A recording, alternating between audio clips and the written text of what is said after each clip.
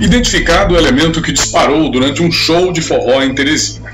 O homem que aparece nas imagens atirando para cima dentro de uma festa na zona leste da capital do Piauí foi identificado como sendo o soldado PM João Batista, lotado no 16º Batalhão em José de Freitas, na Grande Teresina.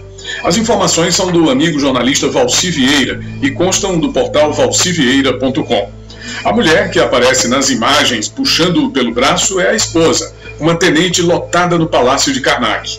Veja bem, lotada no Palácio de Karnak, o centro do poder e da corrupção reinante no estado do Piauí. A arma usada foi uma pistola 9mm. O caso está sendo investigado pelos policiais do 5 DP no bairro São João.